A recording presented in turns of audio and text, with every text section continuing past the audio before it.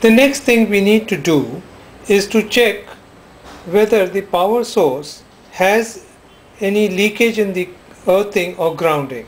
It is before connecting the braille printer we need to check this with using a multimeter.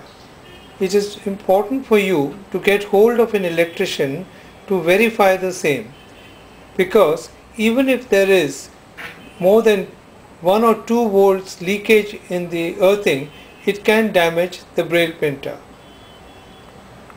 Very often the electricians use a bulb with two wires to check the earthing and because the bulb is not glowing they claim that there is no leakage in the earthing.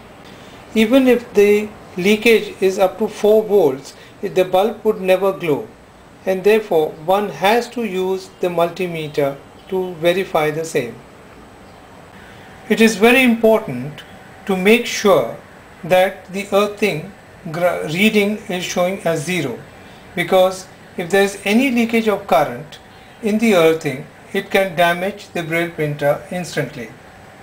And in case there is a reading of some voltage please ask the electrician to dig a hole in the ground, fill it with charcoal put a copper plate and connect it to the mains which would help in bringing the reading to zero.